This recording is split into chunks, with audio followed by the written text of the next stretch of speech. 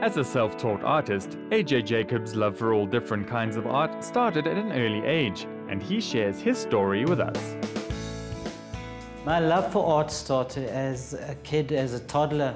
Uh, used to paint and draw all the time. It just progressed from there to canvases, to uh, to sculpture, to mixed media, and everything I could lay my hands on.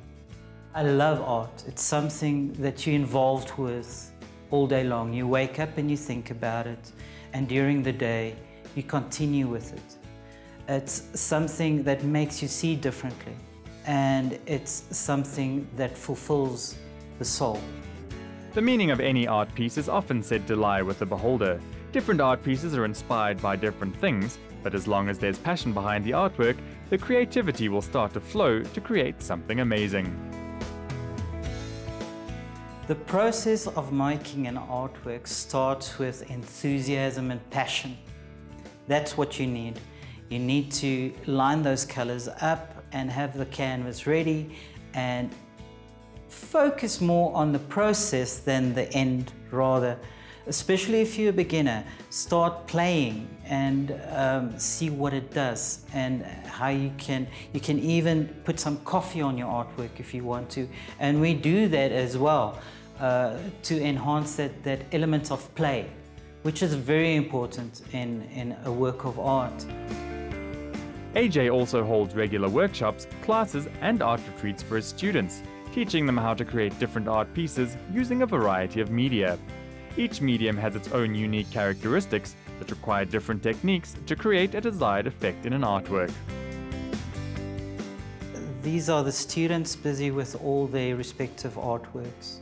Uh, we have oil paints, very popular, undersea photograph, Tretiakov remake, also in oils. We find that portraiture is very popular.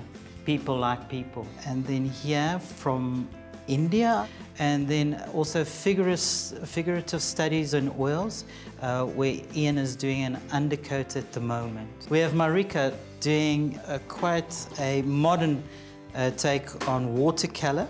Here we have pastel and pencil and portraiture, very, very popular. And um, here we have a background, we're doing the background for the final touches of this portrait, also in oils. Here we have a mixed media of ink and Gik and pastel. This is for people who like to play a lot with uh, art mediums. And portraiture, and this is a pencil sketch also of, uh, in portrait, um, of Wolverine. There are a number of different painting techniques that one can learn. Each has its own particular methodology, but at the end of the day, it's all about creativity.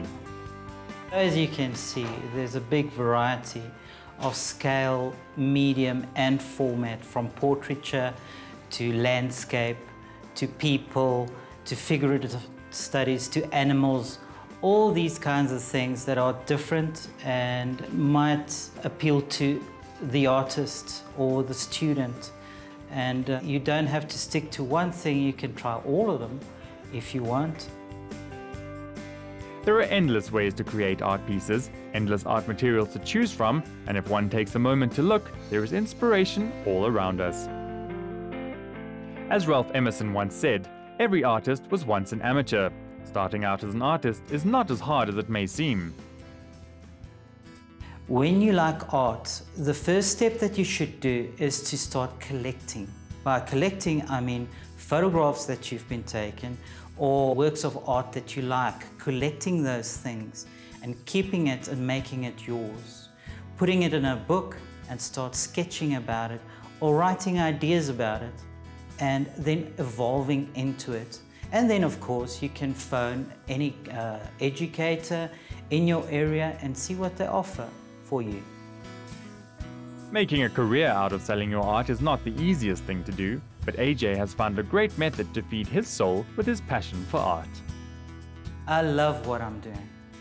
It is all involving every day of my life. It's the most fascinating and amazing life that you can have as an artist and as an educator.